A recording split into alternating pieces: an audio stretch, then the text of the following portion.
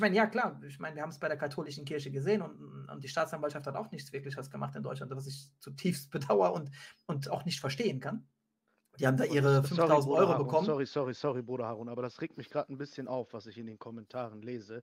Äh, die Bauer macht das Thema mit Aisha radiallahu anha besser nicht auf, weil wenn man in der Bibel die Zahlen zusammen, beziehungsweise wenn man sich das korrekt ausrechnet, war Rebekka drei Jahre alt, als sie Du, geheiratet hat. Ne? Warte mal, Also, warte mal, warte mal. Bruder, Da musst du ah, ein bisschen aufpassen, was du sagst. Und laut nicht-muslimischen Wissenschaftlern war Maryam oder Maria, die Mutter Jesu, elf oder zwölf Jahre alt, als der Heilige Geist sie beziehungsweise Hm. also Jesus eingehaucht hat, in, also dein Gott, in ihren Bauch.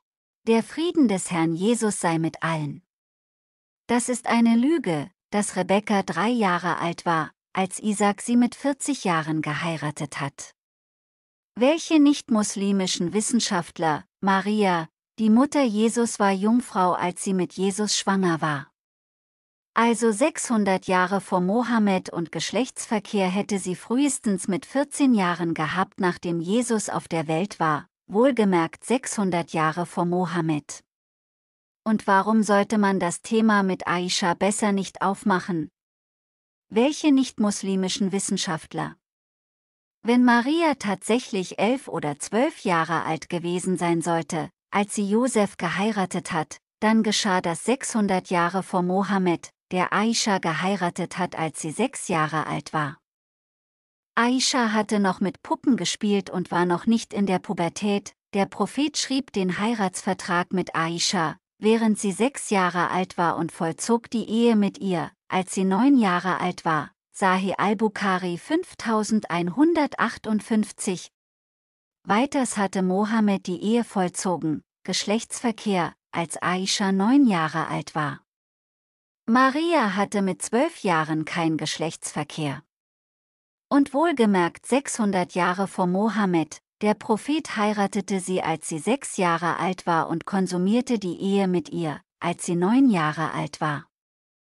Und sie blieb bei ihm für neun Jahre bis zu seinem Tod, Sahih al-Bukhari 5133. Die arabischen Begriffe Utkilat und Banabiha beziehen sich in ihrem Kontext nur auf Geschlechtsverkehr.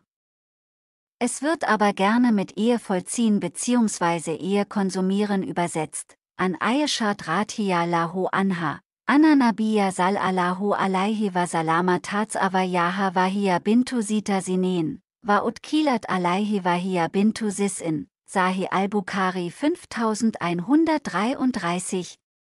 Josef vollzog die Ehe mit Maria frühestens als Maria 14 Jahre alt bzw. nach der Geburt von Jesus. Wohlgemerkt 600 Jahre vor Mohammed. Erstens, es war üblich im antiken Israel und Judäa, dass Mädchen mit 15 bis 17 Jahren geheiratet haben. Insights from Archaeology bei David Afinsi, Seite 71. Referenzen gibt es sowohl historisch als auch biblisch. Zweitens, jüdische Ehebrüche. Mindesalter für die Ehe von 13 Jahren für Jungen und 12 Jahren für Mädchen. Baker Encyclopedia of the Bible in Band 2, Seite 1407.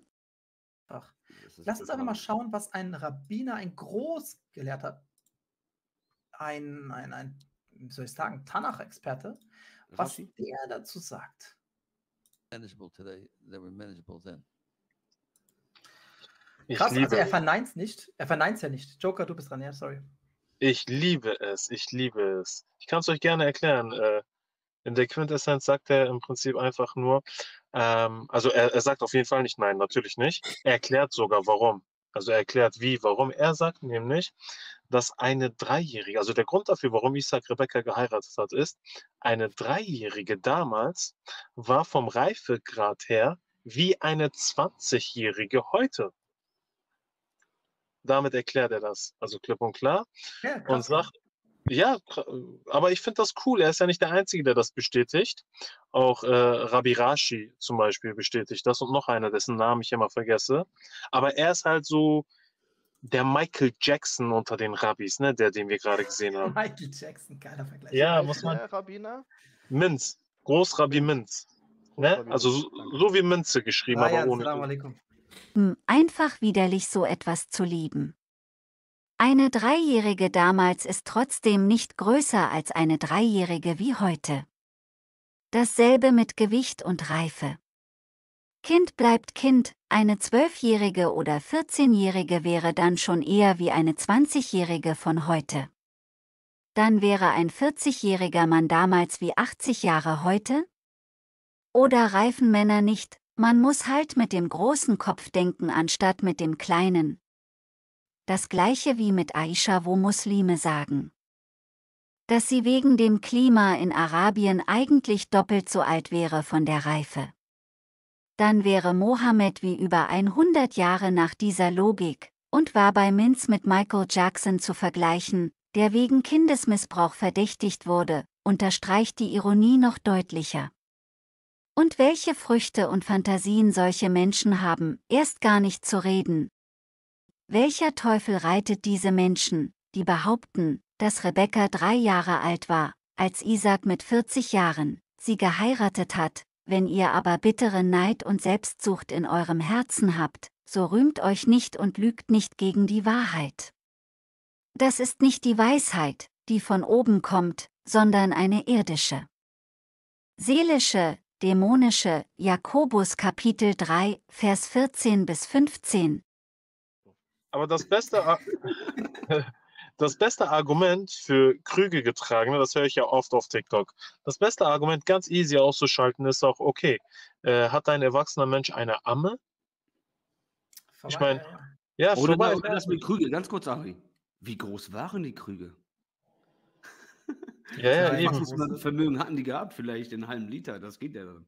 Also es gibt ja verschiedene Krüge in verschiedenen Größen, also daher. Ja. Ein erwachsener Mensch hat oder kann eine Amme haben. Als Rebekka eine junge Frau war und mit Isaac mitgegangen ist, werden Personen aufgezählt, darunter auch ihr früheres Kindermädchen, Amme. Sie gehört auch zur Familie, da willigten sie ein und ließen Rebekka gehen. Der Knecht, seine Leute, Rebekka und ihr früheres Kindermädchen machten sich für die Reise fertig. 1. Buch Mose Kapitel 24, Vers 59. Eine Stillmutter brauchen Säuglinge bis zum sechsten Monat. Danach bekommen sie Brei. Demnach wäre Rebekka sechs Monate alt, als sie eingewilligt hat, mit Isaac zu gehen. Es werden einfach nur Leute aufgezählt, die alle mitkommen. Darunter auch das frühere Kindermädchen. Oder wollen jetzt unsere lieben Muslime Rebekka zum Säugling machen? Was man alles biegen und fälschen muss, nur um Mohammed zu retten. Dreijährige Mädchen tragen keinen Schleier und würden auch nicht eigenhändig sich verhüllen. Genauso bei sechs- oder neunjährigen Mädchen, die noch mit Puppen spielen und noch nicht in der Pubertät sind, und sprach zu dem Knecht, Wer ist jener Mann, der uns auf dem Feld entgegenkommt? Der Knecht sprach, Das ist mein Herr. Da nahm sie den Schleier und verhüllte sich. Erste Buch Mose Kapitel 24, Vers 65. Wenn wir jetzt nur noch auf den Pfeil nach rechts drücken, also wenn wir eine Weiß, Seite ja. weitergehen, sind wir schon. Schaut euch die Überschrift an. Sarahs Mhm. Tod. Also Genau. irgendwann kurz vor ihrem Tod Ja. kommt Rebekka auf die Welt. Ja? Und jetzt müssen wir uns nur, äh, jetzt was wichtig ist, Müssen wir oder weiterlesen, ja. Genau, jetzt äh, müssen wir uns zurückerinnern. Also, ich muss es nochmal wiederholen, damit man den Sinn nicht verliert. Sie wurde ja 127, starb dann und der Sohn war 37. Also zum Todeszeitpunkt der Mama war der Sohn 37 und Rebekka war 0 Jahre alt. Denn sie wurde ja neu geboren. So, irgendwo da. Und wenn Isaac 37 war und Rebekka 0, also frisch geboren, wenn wir das jetzt wissen, steht in der Bibel, dass Isaac nicht mit 37 geheiratet hat, sondern dass er Rebekka mit 40 geheiratet hat. Mhm. Drei Jahre später. Also richtig, sehr gut. Also drei Jahre später. Und wenn Rebekka da frisch geboren war und null war, wie alt war sie denn dann drei Jahre später? Drei. Warte mal, eins, Drei. zwei, drei. wenn Rebekka wirklich in 1. Buch Mose Kapitel 22, Vers 20, geboren wurde, als Abraham vom Berg Moria zurückkam, wo er Isaac opfern sollte, dann wissen wir, dass Isaac 25 oder 26 Jahre alt war. Die Frage nach dem Alter Isaaks bei seiner Opferung wird im Seder Olam Rabba mit 26 Jahren angegeben.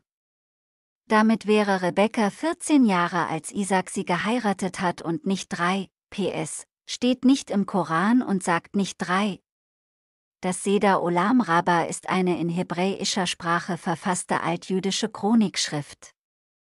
Es wird dem in 2. Jahrhundert nach Christus lebenden Jose ben Halafta, geboren 130 nach Christus, gestorben 160 nach Christus, zugeschrieben. Die große Weltchronik hält sich zumeist eng an die biblische Chronologie und wird auch im Talmud zitiert. Josephus Flavius schreibt, dass Isaac bei seiner Opferung 25 Jahre gewesen ist. Somit wäre Rebekka beim Tod Sarah elf oder zwölf Jahre gewesen.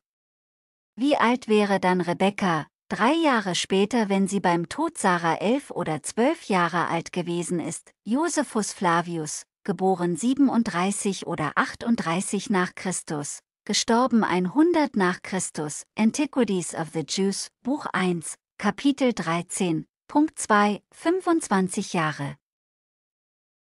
Das bedeutet, dass Rebekka elf oder zwölf Jahre alt war, als Sarah mit 127 Jahren gestorben ist und Isaac 37 Jahre alt war, und Sarah wurde 127 Jahre alt, das sind die Lebensjahre Sarahs. Und Sarah starb in Kirjat Arba, das ist Hebron, im Land Kanaan. Da ging Abraham hin, um zu klagen um Sarah und sie zu beweinen. 1. Buch Mose Kapitel 23, Vers 1 bis 2. Weiters würde das bedeuten, dass Rebekka zwischen 14 und 15 Jahre alt gewesen wäre, als Isaac mit 40 Jahren sie geheiratet hat, und Isaac war 40 Jahre alt, als er Rebekka zur Frau nahm, die Tochter Bethuls, des Aramäers aus Padan Aram, die Schwester des Aramäers Laban. Erste Buch Mose Kapitel 25, Vers 20. Alle Genau, Okay, Dinge aber, sind aber gib, mal noch, gib, gib mal noch eins. genau. Aber gib noch mal ganz kurz den, den Vers, wo es heißt, Genau. dass 40 heiratet. Weil dann Gerne. ha- haben wir alle Verse gezeigt. Dann haben wir alle vier Verse gezeigt. 1. Mose Ja. 25. 25. Alles so nah beieinander. 17 bis 25 muss man lesen. Mhm. 1. Mose 25, Vers 20. Also, so wie ich manche kenne, würden sie aus diesem Vers noch die Trinität ableiten, weil da drei steht. So. Der war mies. Da, das ist die Generationsfolge Isaaks, des Sohn Abrahams. Abraham zeugte Isaak und Isaak war 40 Jahre alt, als er sich Rebekka zur Frau nahm, die Tochter des Aram, Aramäers Besel aus Padan. Wo steht da drei?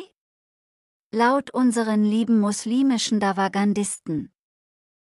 Welche bis drei zählen können, müsste Rebekka auch mit drei Jahren schwanger gewesen sein, und Isaac war 40 Jahre alt, als er Rebekka zur Frau nahm, die Tochter Bethuls, des Aramäers aus Padan Aram, die Schwester des Aramäers Laban. Isaac aber bat den Herrn für seine Frau, denn sie war unfruchtbar, und der Herr ließ sich von ihm erbitten, und seine Frau Rebekka wurde schwanger. 1. Buch Mose Kapitel 25, Vers 20 bis 21. Oder wurde Isaac neugeboren, weil da zeugte Isaac steht, so wie bei Rebekka in 1. Buch Mose Kapitel 22, Vers 20, und Betuel zeugte Rebekka, dies ist die Geschichte Isaaks, des Sohnes Abrahams. Abraham zeugte Isaac, 1. Buch Mose Kapitel 25, Vers 19. Unsere lieben muslimischen Davagandisten versuchen Jahr zu Jahr aus einer jungen Frau, die Rebekka war, ein dreijähriges Kind zu machen. Und jedes Mal stehen sie als Lügner da, alle Reden Gottes sind geläutert, er ist ein Schild denen, die ihm vertrauen. Tue nichts zu seinen Worten hinzu, damit er dich nicht bestraft und du als Lügner dastehst. Sprüche Kapitel 30, Vers 5 bis 6. Ja, manche haben da halt Schwierigkeiten. Nein, jetzt, ich meine es gar nicht böse. Ist wirklich so. Das gibt echt Menschen, die haben Schwierigkeiten, bis drei zu sind. Ja, Und das sind schon äh, harte Beweise, ne? Das sind schon starke Beweise. Also wir haben jetzt nochmal einen biblischen Beweis, dann haben wir Talmud und wir haben äh, die Rabbis, die das bestätigen. Und ich habe auch die Talmud-Seite hier. Also ja, Süß. auf jeden Fall. Oh, Achi, Achi, Achi. Drei. Ah, jetzt habe ich noch eine Frage. Wie, wie rechtfertigen das die trinitarischen evangelikalischen Christen? Ach, da redet niemand drüber. Das, Ah. äh, Aisha war äh, sechs, Aisha war neun, Aisha, Aisha. Da redet man sonst nicht drüber. Wirklich? Jeder Mensch, der ein Funkenverstand hat und der euch zu sieht, muss sich wegen euch fremdschämen. Aus einer jungen Frau Rebecca, ein dreijähriges Kind bzw. ein Säugling zu machen, die einen 40-jährigen Mann geheiratet hat, zeigt nur, welche Fantasien solche Menschen in Wirklichkeit haben. Darum werdet ihr sie an ihren Früchten erkennen. Matthäus Kapitel 7, Vers 20. Unsere lieben muslimischen Davagandisten beteuern ständig Gott zu ehren. Aber glauben Menschen, die ohne Beweise noch von Zitieren von Bibelverse, nur Behauptungen aufstellen, ihr Heuchler. Treffend hat Jesaja von euch geweissagt, wenn er spricht, dieses Volk naht sich zu mir mit seinem Mund und ehrt mich mit den Lippen. Aber ihr Herz ist fern von mir. Vergeblich aber verehren sie mich, weil sie Lehren vortragen, die Menschengebote sind, Matthäus Kapitel 15, Vers 7 bis 9. Ironischerweise durchforschen unsere lieben Muslime die Bibel, um sie zu widerlegen oder ihren Mohammed prophezeit zu bekommen. Doch was sie in Wirklichkeit finden werden, ist Jesus, ihr erforscht die Schriften, weil ihr meint, in ihnen das ewige Leben zu haben, und sie sind es, die von mir Zeugnis geben. Und doch wollt ihr nicht zu mir kommen, um das Leben zu empfangen, Johannes Kapitel 5, Vers 39 bis 40.